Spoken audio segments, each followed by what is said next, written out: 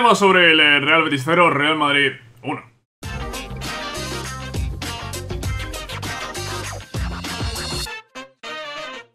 Tic-tac, tic-tac, tic-tac. Chicos, se acaba, se acaba esto, se acaba esto. Dos, dos días, dos días, eh, 12 horas, eh, 33 minutos para que acabe el mercado de traspasos en el momento en el que estoy grabando este vídeo.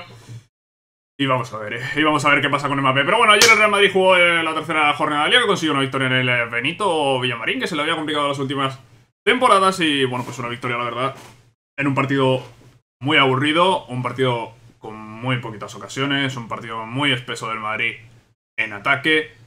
También eh, en la circulación de balón en el medio no estuvo demasiado fino. Es que con balón, con balón estuvieron bastante mal todos, prácticamente. No estuvieron, no estuvieron nada finos. Y creo que va a venir bien este parón de selecciones ahora para mm, eh, tranquilizarnos, ¿no? Yo creo que los jugadores también están ahí con el tema Mbappé.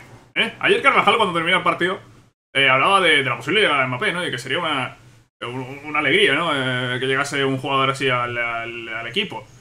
Yo creo que los jugadores también están ahí con el tema Mbappé, que, que están esperando a ver cuál es la resolución final y saber si va a llegar ese jugador o se van a quedar los que están. Y si se quedan los que están, el Madrid va a tener que luchar mucho para intentar ganar esta liga.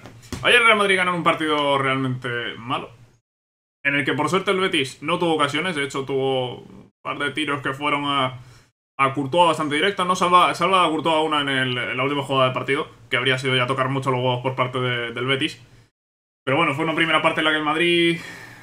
Es que, el Madrid estuvo muy mal con balón, no, no se puede hablar, yo creo, de dominio del Madrid, tampoco ni mucho menos el Betis, que, que, ofrecía bastante menos que el, que el Madrid, eso que el Madrid hizo poco. Y, no sé. Noticias positivas del, del partido en general. Bueno, Vinicius fue titular por delante de, de, Nazar, cosa eh, creo que merecida. Creo que es merecido, pero al mismo tiempo que es merecido, creo que Vinicius es mejor revulsivo que titular. Aún así, ayer fue, fue titular y fue seguramente de lo mejor de- de- del partido, ¿no? Fue el único que, pues como siempre, lo intentaba y lo intentaba y desbordaba. Tuvo una a un gran centro de Miguel Gutiérrez, eh, la otra novedad del 11, que, que no enganchó bien Vinicius. Esa, esa definición que vimos contra el Levante no la tuvo en esa acción. Y veremos qué progresión tiene esa, esa definición en las próximas eh, semanas. Miguel Gutiérrez, buen partido como lateral el eh, jugador de la cantera, bien en defensa, sin ser superado prácticamente en ninguna ocasión, y en ataque pues eh, incorporándose bien y dejando sobre todo ese buen centro a, Vinicius, ¿no? Centros de los que Mendy pues no, no sabe, Eh, Mendy no sabe. Álava sí, Álava estos partidos que ha jugado como lateral sí, pero Mendy... No, no es especialidad sacar esos eh, centros, no, no tiene esa técnica, ni mucho menos. Por la derecha, jugó Carvajal, volvía a ser titular muchos meses después, no sé si desde febrero o marzo de- de este año, es decir, hace, hace más de seis meses o, o más. Y dejó un buen partido Carvajal, la verdad. Eh, poco, poco superado en defensa, marcó ese gol en esa buena incorporación al ataque, a centro de Benzema, que creo que fue la única acción buena de Benzema en todo el partido, sinceramente. Benzema estuvo, estuvo torpe, estuvo muy torpe con balón, no, no, no, no, no, acertaba, no acertaba a dar eh, bien el- los pases. No sé si Benzema tiene en la cabeza ahora Mbappé, no lo sé. no lo sé, está con el tic-tac en la cabeza Benzema, no lo sé. Pero no estuvo, no estuvo nada fino ayer el, francés. Aunque puso esa gran asistencia para Dani Carabajal. En el medio, pues Valverde, la verdad, bastante ausente. Isco, bastante peor que contra el Levante, la verdad. Contra el Levante, Isco seguramente fue el mejor de la primera parte. Pero es que Isco ayer, no, no. Ayer Isco tampoco estuvo fino, si es que es lo que digo. Si que con balón, la verdad, el Madrid estuvo bastante, bastante mal, bastante espeso. Y generó muy, muy poquito. Bale lo ha intentado alguna vez. Vinicius, como digo, sí que es el que más lo intentó y seguramente fue el mejor del partido. De hecho, lo nombramos en el chiringuito del MVP del, del partido. Y bueno, Casemiro en su línea, ¿no? Casemiro para mí fue el MVP, ¿eh? Pero bueno, el MVP general salió Vinicius Jr. Y bueno, pues es que tampoco ofreció mucho más el partido de, del Real Madrid. Suma tres puntos, son tres puntos importantes en el Benito Villamarín que se venía complicando. Son tres puntos fuera de casa.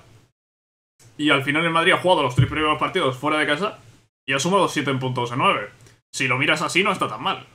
Si lo miras así, no está tan mal. ¿Eh? Y victorias por la mínima. Si no viene Mbappé, victorias de estas de 0-1-1-0, no va a ser la primera. Que en estas dos últimas temporadas con Zidane lo hemos visto mucho. Y creo que esta temporada va a tocar verlo también. Partidos así, de, de marcar un gol y, y- ganar con lo justo, ¿eh? ganar por la mínima. Va a tocar ver muchos partidos así del Real Madrid, parece ser, porque este equipo es que no juega nada. Es que no juega nada. Sinceramente, ya tercera jornada de liga. Estábamos viendo minutos 40 y... Bueno, nada más empezar la segunda parte. Ya el equipo estaba jugando a tirar centros al área. Tercera jornada de liga.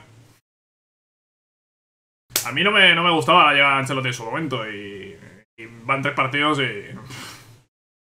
Y es que el equipo no juega nada. Que el equipo no juega nada, tío. Es que no puede ser que el plan de juego sea el centro salaria, tío. El plan de juego es centro salaria, tío. Centros a, a Isco. Que tuvo que rematar una de cabeza a Isco al centro de, de- Lucas, creo, o de Carvajal. Es que... Es que me, me desespera el Madrid, tío. Me desespera el Madrid y de verdad, ¿eh? yo creo que tendría que haber llegado otro entrenador con otra mentalidad de juego eh, que viniese a, a- traer cosas nuevas al Madrid, tío. Pero es que venimos a jugar a lo mismo que se estaba jugando con Zidane. Es decir, absolutamente nada. Y, y cuando vas perdiendo o necesitas un gol, pues a colgar centros al área como un loco. En fin, en fin. eh, por lo menos el Madrid sumó los tres puntos y ahora solo queda esperar que llegue Mbappé. Sinceramente, queda esperar que llegue Mbappé. Si no llega Mbappé, este equipo no va a competir en la Champions, ni, de coña. Ni de coña, a lo mejor llega a cuartos, semifinales, pero no va a competir por ganar la Champions, ni de coña. Y la Liga la puede competir, pero lu- luchándola muchísimo hasta el final, ¿eh? Y, y con muchos partidos como estos de, de ganarlos por la mínima. Así que esperemos, por favor, que llegue Kylian Mbappé, que cambie cosas aquí. Y Kylian Mbappé no va a ser el salvador, no va a solucionar todos los problemas en Madrid, eso lo sé yo, lo sabe todo el mundo. En Madrid, cuando esté en minuto 70, con Mbappé en el campo, también va a jugar a, tirar centros al área. También va a jugar a eso. Mbappé no va a ser el, el salvador, no va, no, no- no va a solucionar todos los problemas de juego del Real Madrid. Pero ayuda. Ayuda. Ayuda que en vez de darle el balón a Vinicius, se lo des a Mbappé. Y que Mbappé, pues tiene más gol. Tiene más gol, tiene más instinto y más calidad que Vinicius, es así. Bueno chicos, hasta aquí un poquito de análisis del partido. Es que tampoco hay mucho que analizar, la verdad. El partido fue un aburrimiento, un partido malísimo, de esos que a los que acostumbra el Real Madrid, a los que acostumbraba con Zidane y a los que parece que va a acostumbrar con Carlo Ancelotti en esta nueva etapa de- del italiano. En fin, eh, no ilusiona nada. Este equipo no ilusiona nada. Ilusionó el primer partido y ya desde entonces no ilusiona nada. Esperemos que la ilusión sea la tortuga. Kylian Mbappé. Tic-tac. Tic-tac. Tic-tac. Pero es que. Uy, uy, uy, uy, uy, uy. Bien peleado, militado. Uy, uy, uy, uy, vamos a ver esta vez, vamos a ver esta viene Juanmi. ¡Qué bien mi Bien, juego Juanmi. Gutiérrez, tío! Lo había dicho, Misha, MVP One me lo había dicho. Yo también he puesto de MVP a Juanmi. ¿eh? Tremendo pase de mierda. Vamos, Vini. Viene Vinicius, Vinicius se va a ir Para atrás, fuera. Vini, para atrás, Vini. Bien, Vini. Lo salva, lo salva, lo salva. Viene Benzema. Benzema en el lateral del área. Va a sacar el centro, segundo palo, Carvajal. ¡Vamos! ¡Joder! Ahí está, tío. Cuidado, espérate, Joaquín, eh. Cuidado, espérate. Balón para Tello. Cuidado, Tello, que se lo va a llevar. Cuidado, Tello. ¡El centro! ¡No! ¡Courtois! ¡Oh! ¡Oh! ¿Qué pasa? Game over.